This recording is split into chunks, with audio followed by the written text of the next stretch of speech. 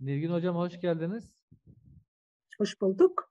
Ee, hocam öncelikle bizleri kırmadığınız için Akademide Etik Derneği'nin e, bu süreçteki inisiyatifine sizler de katkı sağladığınız için teşekkür ediyorum. Ee, bizler e, kısaca kendimizden bahsedelim, oluşumumuzdan bahsedelim. Sonra e, sizinle sohbetimize geçmeyi arzu ediyorum. Ee, öncelikle Akademide Etik Derneği 2019 yılında Fahri Apaydın hocamızın öncülüğünde kurulmuş bir dernek. Akademide etik konularını gündeme getirerek akademik etik farkındalığını kazandırmak, farkındalığını artırmak ve bu anlamda inisiyatif almak adına e, dernek kuruldu. Tabi derneğimizin çeşitli faaliyet alanları var. Bir taraftan kongre düzenliyor, bir taraftan pan panellerde e, yer alıyor ve paneller düzenliyor. Öte taraftan dergimizi kurduk. Öte taraftan YouTube kanalıyla sizler gibi saygın bilim insanlarını e, etik konusunda akademisyenlerle, akademik camiayla buluşturmayı amaçlıyoruz. E, ve YouTube kanalıyla birlikte bizler dernek faaliyetlerini bir anlamda tanıtmarak, bir anlamda geniş kitlelere yayarak e, bir çaba içerisindeyken öte taraftan da böyle e, sizler gibi değerli bilim insanlarını e, bir anlamda e, izleyenlerle, bu etik konusuna gönül verenlerle, bu hassasiyete dikkat edenlerle buluşturmayı da hedefliyoruz. Bu bağlamda e, sizler de icabet ettiniz. Teşekkür ediyoruz hocam. Öncelikle hoş geldiniz. E, ben de teşekkür ediyorum. Ben Akademide Etik Derneği YouTube kurulunda komisyon başkanı olarak görev yapıyorum. Rasim Tösten ben. Siirt Üniversitesi Eğitim Fakültesi Eğitim Yönetimi ana bilim dalında doçent doktor olarak çalışıyorum. Ee, hocam isterseniz biz sizi tanıyoruz gerçi ama izleyicilerimizi biraz daha e, tanıması açısından kendinizden e, kısaca bahsedebilirsiniz. Sonra sohbetimize başlayabiliriz. Buyurun hocam. Tamam, teşekkürler. Ee, ben de sizin bu dernek faaliyetlerinize sonsuz başarılar diliyorum. Bilmiyordum ama Fahri Bey'in dönem dönem e, e, Gmail olarak bana gönderdiği bazı e, akademik e, hayattaki etik kurallarla ilgili karşılaşılan sorunlara karşı e, ne gibi çözümler önerilebilir sorusu karşısında sizin derneğinizde bu şekilde tanımış oldum. Şu onlara karşı bazı ben de kendi görüşlerimi yazdım. Aslında benim etik konusunda bir uzmanlığım yok. Bu konuda ders vermedim. E, bu konuda herhangi bir araştırma yapmadım. Sadece bir ahlak, değer ve etiğin de tabii dolaylı olarak içine girdiği makale yazdım. E, bir de yine bir dergide bir yoğunlukla çeviri olan Amerikan Sosyoloji Derneği'nin ve Kamuoyu Araştırmaları Derneği'nin e, etik e, e, kuralları ile ilgili bir çeviri e, makalesiydi bu tanıtma açısından. Kendi çalıştığım bölümde böyle bir iki girişimde bulundum ama başarılı olamadım. E, yani ikna edemedim fazlaca insanları. Böyle bir aramızda etik kurum, kurumlar oluşturalım, etik ilkeler oluşturalım çapında. E, olmadı. Dolayısıyla ben bu konu uzmanı değilim. Ama bir takım deneyimler var tabii. Tecrübeler, deneyimler var. Gözlemler var. Ee, yaşadıklarım var. Kendimin de içinde aktif olarak bulunduğu. Ee, onlardan çıkardığım belli hayat deneyimleri var. Onlara dayanarak bu konularda bir şeyler söyleyebileceğimi belki işte Fahri Bey olabilir dedi. Yani o arzu edince ben de peki dedim. Ben kim? Ee, ben artık emekli bir hocayım. Ee, çok çeşitli üniversitelerde çalıştım. Hep hayatım boyunca sabit tek bir yerde olmak istedim ama her zaman hayat istediğiniz gibi yürümüyor malum. Çok çeşitli nedenlerle ama tabii hepsinde kendi özgür irademle de sonunda ayrılmaya karar verdim. Epey yani e, devlet memuriyetinin çeşitli şeylerinden sonra Köy İşleri Bakanlığı, 19 Mayıs Gençlik ve Spor Akademisi, Ege Üniversitesi, e, Selçuk Üniversitesi, Ankara Üniversitesi, Muğla Üniversitesi, Mehmet Akif Üniversitesi, gibi böyle çeşitli epey e, Anadolu'da e, çeşitli üniversitelere ve Ankara'da dolaştım. Çeşitli yıllar içinde görevler yaptım. En uzun DTCF'de kaldım. Onun en Muğla'dan emekli oldum. e, Muğla Üniversitesi'nde ikinci kez gittim kadrolu olarak. İlki görevlendirmeliydi. İkincisi kadrolu gittim ama bir sene çalıştım. E, Muğla'dan da emekli oldum. E, emekliliğimin hani bu akademisyenler bir türlü emekli olmaz. Benimki o yaş haddinden değil yani yaş haddi daha bir 10 seneden fazla bile zaman daha vardı. Koşullar gereği emekli olmam gerekti. O zamandan beri de e, e, katiyen tekrar bir üniversite çalışmayı da hiç düşünmedim. Çalışmam da yani hele zaten daha farklı yönlerde zenginleştirmeye çabalıyorum. E, ama yine de sağdan soldan işte arada makale isteyen, konuşma yapmamı isteyen üniversiteler oluyor, meslektaşlar oluyor. Onlarla böyle ilişkiler kurabiliyorum. Böyle e, ah, e, çalışma alanım sosyoloji, benim alanım sosyoloji. E, çeşitli alanlarında çalışmalarım oldu. E, ama hep böyle gönlümde yatan e, sosyal teori ve metodoloji idi. E, ve emekli olduktan sonra yoğun olarak bu konulara girmeye daha çok vakit bulabildim. Emekli ol, olmanın da böyle bir avantajı var. Çünkü çalışırken çok sayıda derse, farklı derslere girmeniz gerekiyor. O bir enerji alıyor tabii.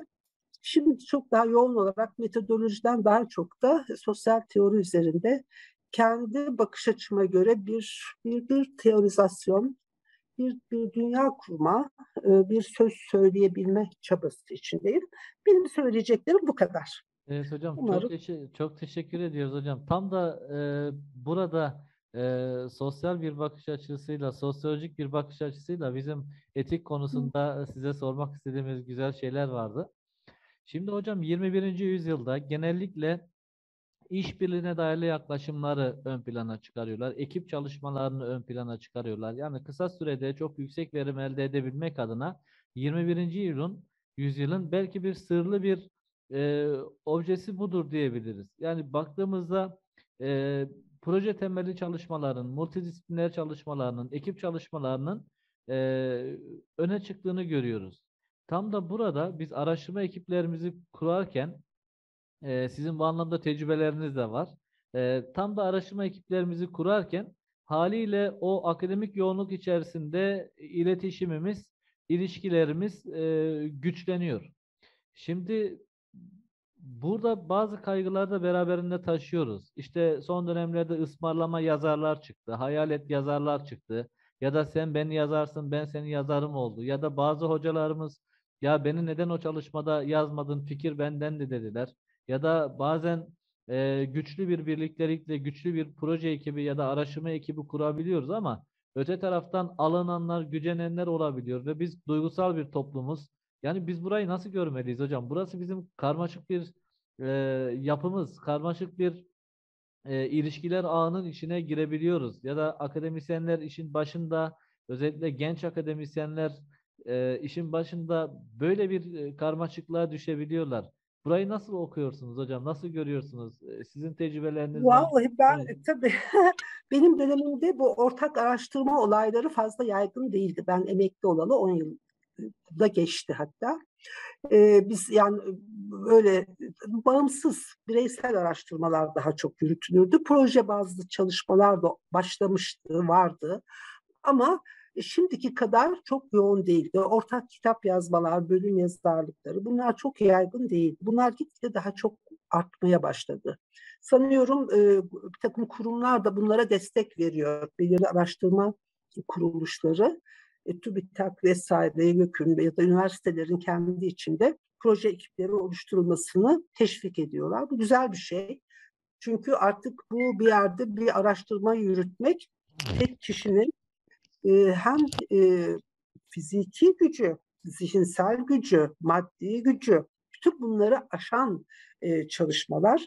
Onun için işbirliği şart, interdisipliner olmak şart, çeşitli alanlardan uzmanların katılarak bu işi yürütmesi şart. İşte birisi işin teorizasyonu yapıyordur, biri sorularını hazırlıyordur, biri istatistiksel işlemleri yapıyordur. Yani sosyoloji açısından söylüyorum. Ee, belki diğer alanlarda işte şu laboratuvarın şu kısımlarını yapanlar vardır, bu kısımlarını yapanlar vardır vesaire. e, eskiden böyle değil. Yani bunların hepsini tek kişi var, yapardı. Tek kişinin yapması aslında hiç sağlıklı değil. Sadece işin yorgunluğu açısından değil, denetleme açısından da çok zor. Yani ortak çalışmaları teşvik etmek gerekiyor. Çünkü e, denetim var. Ya herkes birbirinin ne yaptığını bir noktadan sonra görebiliyor ve gerçekten o işi yapmış mı yapmamış mı? Çünkü tek başınıza bir araştırmayı yapıyorsanız sosyolojiden yine ben örnek verebilirim. Ben gittim 50 kişiyle görüştüm, 100 kişiyle görüştüm. Acaba görüştü mü? Onu bilemezsiniz yani size öğrenci diyor ki ben yaptım anketleri topladım diyor.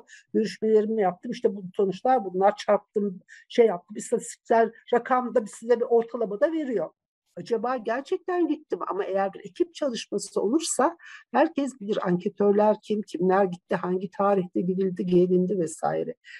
Gelen cevaplar hakikaten anket formlarını herkes görecek. Onlar bilgisayara nasıl yüklendi, istatistiksel işlemler nasıl yapıldı, o tablo ortaya çıktı ama nasıl ortaya çıktı, hangi e, teknikler kullanılarak ortaya çıksın diye çabalandı. E, bu ekip içinde ortaya çıkıyor ve kaytarma yapan, dürüst çalışan, iyi niyetli, güzel doğrulara ulaşmaya çabalayanlar ortaya çıkıyor. Diğer kaytarma yapanlar ortaya çıkıyor vesaire. Bir ayrıca tabii işin maddi boyutu da var. Tek kişinin artık gitme, gelme, görüşme yani dolmuş e, öğrenci eskiden bile öğrencilerle bile hocalar e, yani bazı ben hatırlıyorum ben Allah'tan öyle bir şey yapmadım ama ya otobüs parasını veriyor hiç olmazsa diyor ben çocuğun hani anket yapacak otobüs biletinin parasını karşılayayım diyor ama onu biri kendi hani maaşından karşılıyor. Bir çocuk gitti bir çay içecek, bir simit içecek bilmem ne o yok. Her neyse yani şimdiki koşullar daha elverişli. Kontrol açısından da denetleme araştırmanın sağlıklı yürütülmesi açısından da elverişli. Ama tabii bu insan ilişkilerinde de belirli sorunlara da yol açıyor olabilir. Benim batılı araştırmalarda gözlemlediğim, e, işte belirli derneklere faalken üyeliklerim olurdu. Ortak işte proje geliştirme, ben de bir uluslararası projede e, hatta Türkiye'nin ilk e, Avrupa Birliği, Avrupa Komisyonu'ndan aldığı bu altıncı çerçeveler falan vardı. İlk projeyi de ben yaptım. Oralarda ben hep gözlemlediğim bir şey var. Bir proje ekibi mi oluşturuldu? Hemen yani araştırmanın işte konusu, amacı vesaire şey yazılıyor ya, başvuru formu, e, impactları ne olacak, şunlar bunlar hepsi yazılıyor ya veriyorsunuz. Bir de etik kurallar yazılıyor. Hemen hemen o araştırmanın en başında bu araştırmada kim ne yapacak? Nereden nereye kadar sorumlu? Hangi kısımları kim üstlenecek? Hangi tarihte bitirecek? Bu çok net olarak belirtiliyor. Bu e, veriler toplandıktan sonra istatistiksel işlemleri kim yapacak?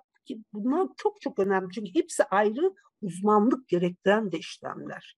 Hepsi ayrı uzmanlık gerektiriyor. Onlar yapıldıktan sonra bu ortaya çıkan çalışmanın nasıl sunulacağı yani bilgi de sunulacak bir yerlerde değil mi? Bir makale mi olacak, kitap mı olacak? Hangi bölümde kimler aktif görev alacak? Onlar tek tek yazılıyor. Böylelikle kimsenin de hakkının yenmemesine en baştan da rıza imzalar alınıyor. O kurallar konu her araştırma başlarken bunun etik kuralları da var.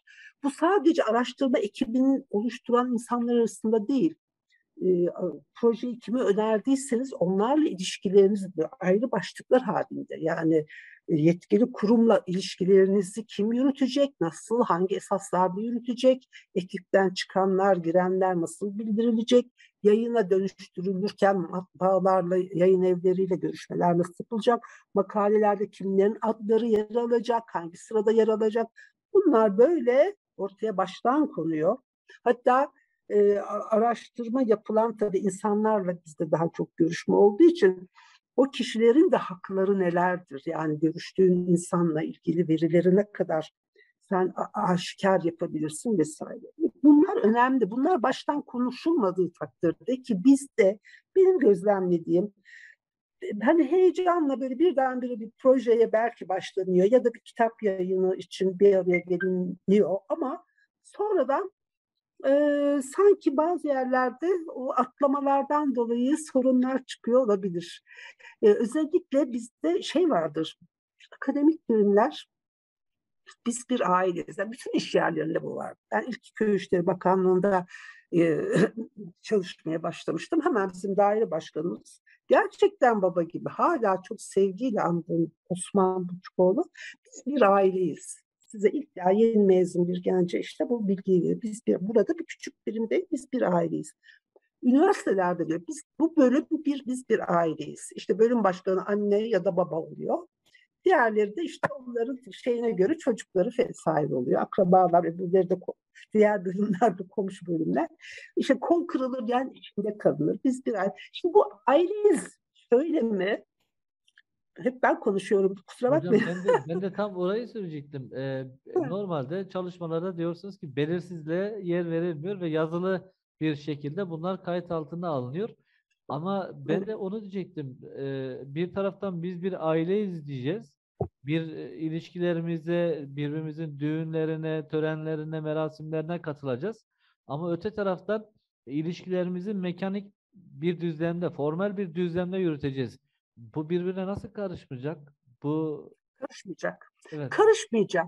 Biz bir aile değiliz.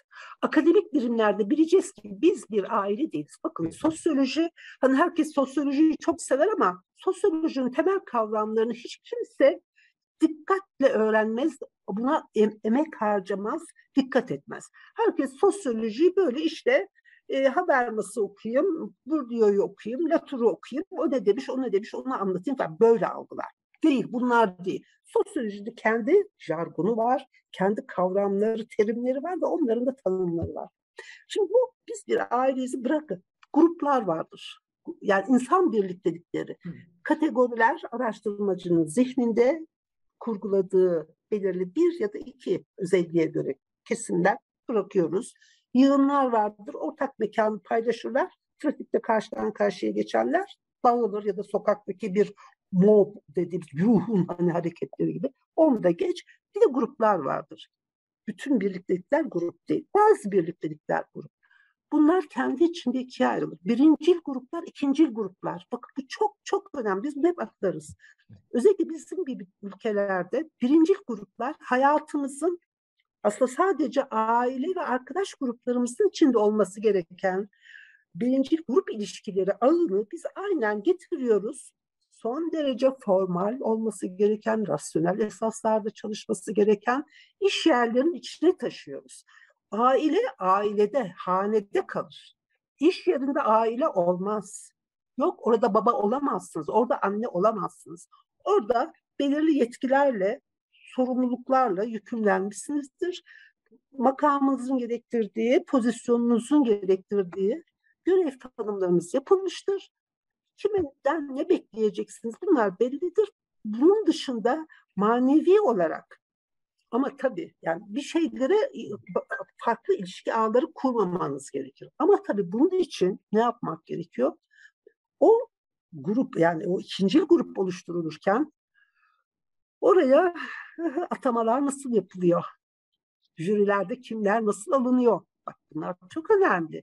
Hangi başarı ölçütlerine göre ya da kişilerin akademisyen adayları hangi ölçütlere göre? Ben de akademisyenlik yaptım, ben de araştırma görevlilikleri yaptım, jürilere girdim, bölüm başkanlıkları, dekanlar, dekanlık, ya, rektör yardımcılığı vesaire çeşitli idari görevlerde de bulundum. Benim de pek çok yerde hak yediğim zamanlar olmuştur. Hak yemek zorunda kaldığım zamanlar olmuştur. Baskı altında kaldığım zamanlar olmuştur ama bunlar hep benim de vicdanımın içinde sızlar. Bunlar benim içimde sızlar. Çünkü öyle bir baskı yapılıyor ki insana. Şunu alacaksın, şunu almayacaksın. Öyle bir şekilde o ifade ediliyor ki böyle kalıyorsunuz yani. Bazı şeyleri kurtarmak için buna pek ediyorsunuz. Hani bir dengeleme yapıyorsunuz. Bunları ben de yaşadım.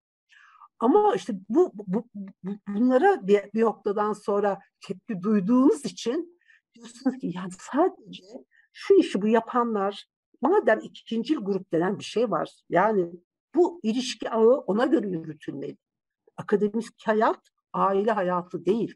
Biz siyasetimizde öyle yapıyoruz, fabrikadaki işimizde öyle yapıyoruz değil mi? Yani şey sivil toplum kuruluşlarındaki ilişkilerimizi öyle yürütüyoruz. ahbap çalış ilişkisiyle yani hasta doktor ilişkisi gibi böyle hastaneye giden hastamızla ya da doktorla ilişkimiz, hemşirelerle ilişkimizi bile böyle birinci yani hemşehrim bilmem ne hadi canım hadi bilmem ne falan böyle hadi cebine iki tane sigara koyayım iki paket de bizim hastamıza daha iyi baksın falan filan böyle yürütüyoruz. Böyle olmaması gerekiyor. Hocam Böyle olduğu sürece de üzüntülerimiz bitmiyor. Hocam e, az önce yine benzer bir konuya temas ettiniz. İşte bölüm başkanı var, onun çocukları gibi gördü, araştırma görevlileri var dedik. E şimdi bir hocanın yanında bir araştırma görevlisi ya da lisansüstü bir öğrenci yetişiyor. Dolayısıyla belli bir seviyeye geldiğinde özgün eserler üretmek istiyor. Burada e, hocasını sürece dahil etmediğinde ya da yeni araştırma ekipleri kurmak istediğinde haliyle bazıları yani herkes için bunu söylemiyorum, genellemiyorum ama bazıları gönül koyabiliyor ya da içerleyebiliyor ya da bir şekilde ya ne oldu da böyle olduk gibi duygusal tepkilere girebiliyor. Ee, burada süreç nereden başlamalı? Yani Orada aşağıdan gencin gelen büyüdüğü, gencin büyüdüğü görülmek istenmiyor. Evet. Yani hani Yani denk hocam? kabul Evet. edilmek böyle istenmiyor. böyle böyle mi? şeylerle rastlaştınız mı? Denk geldiniz mi hocam? O görmüş Yani gördünüz benim ben e, Allah'tan öyle yani şöyle e, öyle bir hoca e, şeyle ilişkisi için hiç olmadım da ama mesela bölüm başkanı olan birileri oldu başımda. Bana böyle bir şeyler yapmaya çalıştılar. Yani ben çok tuhafıma gitti. Tersledim falan. O, o konularda fazla bir şeyim olmadı. Yani böyle bölüm başkanlığı taslamak isteyenlere karşı ben böyle çok tepkisel oldum. Bir de yani şimdi bak akademik hayat egoların çok güçlü olduğu bir alandır. Ba- basit bir memuriyet işi yani büro işi memuriyet derken küçümseme anlamı değil mi? Büro işi değildir. Yani al şu daktiloyu yaz. Herkesin yapabileceği bir iş bölümünün sonucunda yürütülen işlerden değildir. İnsanların yeteneklerini, bilgilerini, yetişmelerini ve tabii de hepimizin idealleri de vardır. Yani bilim dünyasına giriyorsak eğer e, kendimizi ortaya koymak istiyoruz. Yani bir şeyler yapayım. Bir, bir, bir bilim dünyasında benim de bir yerim olsun, bir izim olsun diyorsun. Yani sadece ben maaşımı alayım. Öyle diyor, düşünenler de var. Yani eşi onu zorla bölüme şey yapıyor, alıyor, aldırtıyor ya da eve katkıda bulunsun. Çünkü akademisyenlerin maaşları nispeten daha iyi. Ee, işte KPSS'ye girmesi gerekiyor. Bir jüri üyeleri ayarlanıyorsa da öyle giren çok var. Orada öyle emekli olup gidenler bile var yani. Onlar da var. Ama öyle değilseniz, böyle belirli ideallerle giriyorsanız, bir şeyler yapmak için adınızı şöyle yeteneklerinizi sergileyeceğiniz bir alan olarak orayı görüyorsanız o zaman yani bu orada bölüm başkanı olanın da bu, bu ayırdığı yapması lazım. Evet. Bu buraya kendini ifade etmek için girdi. Bu da evine para götürmek için girdi. Sen o da istediğini yaptır, çantanı taşıt, bilmem ne bilmem ne. Adını sen kendi birinci yazdır, o senin her işini yapsın ama öbürüne de fırsat vereceksin. Tabii, o zaman e, sosyolojik e, bir bakışla yaklaştığımızda akademide ikincil ilişkileri e, daha çok güçlü tutmak ve bunu korumak lazım e, Kesin, gibi. Kesin. Peki e, bunu koru bunu korumak adına, güçlü tutmak adına e, tecrübelerinizden bahsettiniz hocam. Bir şekilde iş tanımları, görev tanımları ve iş dağılımları baştan belirlenmeli dedik. E, buralarda güç dengelerinin de adil olması gerekmez mi? Yani bir taraftan akademik bir hiyerarşi de söz konusu. Bir e, profesör, doçent, doktor öğretim üyesi, doktor veya bir şekilde e, onlar da araştırmanın bir parçası olabiliyorlar. E. Burayı nasıl korumak lazım? Burada kimlere nasıl görevler düşmeli? Ya da burada endişe ettiğiniz e, Türkiye'de buranın güçlenmesi gerekir dediğiniz bir yön var mı hocam? İkincil ilişkilerin korunmasında ya da kurulmasında e, nereden başlamalı? Burayı nasıl görüyorsunuz? Onu şey dedim hani başta bir kere eleman alınırken yani o e, bölüme alınırken ya da bir proje ekibine dahil edilirken bir araştırma, yayın e, proje hani rapora dönüştürülecekse ya da bir yayın yapılacaksa e, o, o aralarda o herkesin yeteneğine uygun bir şekilde ya da işte yeteneği bir de e, insanların hırsları da vardır. Yani onları da göze alacaksınız. İnsan malzemesi var karşıda. Yani bir bölüm başkanı olarak bakıyorsanız e, yani orada sorumlu sizseniz çünkü gençler e, çok şey de olabilir, hayalci olabiliyorlar. Yani çok şeyler yapabileceğini düşünüyorlar. E, ay ben yani dünyayı kurtarabileceğini düşünüyor. Çok büyük fikirlerinin çok önemli olduğunu düşünebiliyor falan. Bunlar da var. Onun o bölüm başkanı olan hoca. Çünkü e, akademik hayattan dekanlık başka, bölüm başkanlığı başka. E, bölümler çok akademik birimlerdir, idari birimdir de ama aynı zamanda çok akademik bir birimdir de. Onu e, gözetmesi gerekiyor. Yani bundan, bunu kumaşından iyi bir akademisyen çıkar. Bu bilgi birikimine katkıda bulunan, bilen birisi olabilir. Eğer o bu ciddiyeti vardır bunu gör, gö, görebiliyorsa ona destek olması gerekiyor. Orada eşitlik falan olmaz. Şimdi orada eşitlik olmaz. Ama bizim biliyorum ben bölümlerde hasbel kader girmişler de var. Yani böyle eşit e, olmaz. Hayır. O zaman onlara da daha yeteneklerine uygun, daha e, daha sınırlı işlerde değerlendirilebilir. Ve bütün bunlarda e, ortak o işlemler yapılacağında, yapılmadan önce yani planlama aşamasında e, kişilerin de hakkaniyetle davranılacağından emin olması gerekiyor. Bir, yani bölüm başkanını e, hakkımızı yemez. Çalışanın hakkını verir. Ama bunun da yazıya muhakkak yazılı. Hani dedim ya Batılılarda o gördüğüm hemen oydu. Hemen bir bakarsan hop akademik şeyler gelivermiş. Etik kurallar. Etik kurallarımız ne olacak? Kendileri kendi aralarında konuşurlar. Tamam projeyi sunacağız da etik kuralımız nasıl olacak? Bunun her proje için ayrı ayrı bunun konması gerekiyor. Ayrıca ben şey, hani yapmak istediğim bölümde dedim ama başaramadım. Bölüm içinde akademisyenler arası e, da etik kurallar, hocalar ve öğrenciler arası etik kurallar. Bunlar hep ayrı ayrı şeyler. Bunların böyle konması gerekiyor. Yani e, öğrenci, lisans öğrencileriyle başka, lisans üstü öğrencilerle başka onları da dikkate alarak jürilerdeki tavırlar çok şeyler yani ben beni çok üzen olaylar da olmuş. Hani benim başkanları der ki ben muhakkak jüride bulunacağım. Çünkü jüriye girecektir de çünkü hocanın hocasıyla arası bozulmuştur da o öğrenciyle gününü gösterecektir. Niye danışman diye beni değil de onu seçtim falan. Bunlar hep yaşadığımız olaylar yani. Çok çok acı olaylar var. Ee, çok intihar etmeyi planlayan e, doktor adayları ben bilirim.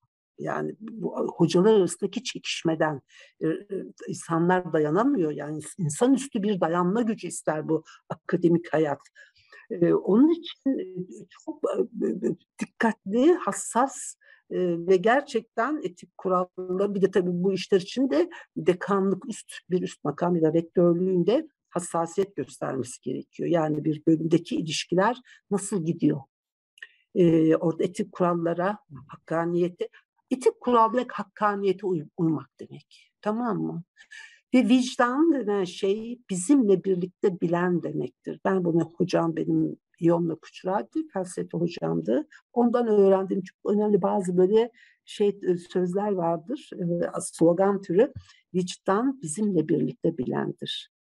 Bunu unutmayacağız. Yani bunu hakkani herkes hiç kimse e, hakkını yendiğini unutmaz. İçi yanar. Hepimizin yanar. Hiç kimse kimseyi ben kandırdım, korkuttum e, diye düşünmesin. Onun içinde o bir, birikir, ukde olur. Ona fırsat vermemek gerekiyor. O hakkaniyet dengesini gözetmek gerekiyor. Hocam etik kural odur işte. Etik kural odur. Teşekkür ederim. Hocam e, bir de vaktimiz daralıyor. Kısa bir şekilde şu konuya da temas etmekte fayda görüyorum. Şimdi bu ekip çalışmalarında az önce bahsettiğinizde ekip çalışmaları aynı zamanda birbirini denetler e, demiştiniz. Yani tek başına bir kişi araştırmacı tek başına çalışma yaptığında e, aslında onun denetim mekanizması kendisi. Ancak ekip çalışması, işbirliğine dayalı çalışmalarda ekibin diğer üyeleri de bir anlamda şahitlik ediyor. Dolayısıyla daha şeffaf ve daha açık bir e, süreç izlenir e, demiştiniz. Değil mi hocam? Ee, Evet, doğru.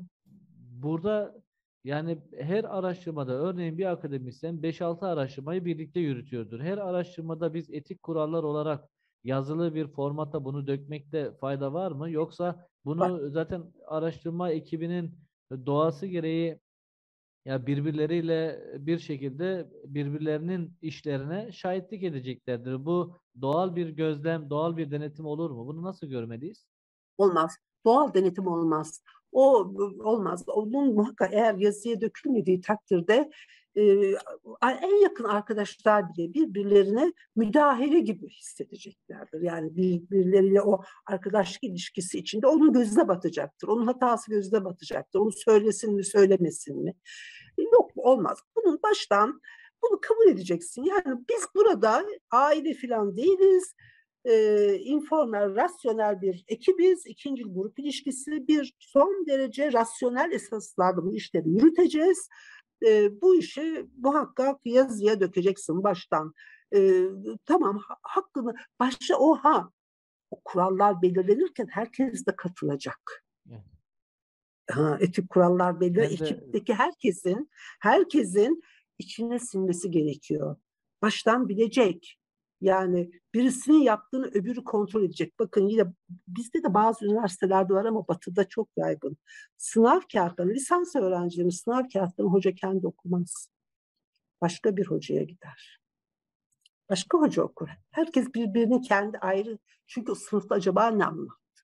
Neyi nasıl anlattı?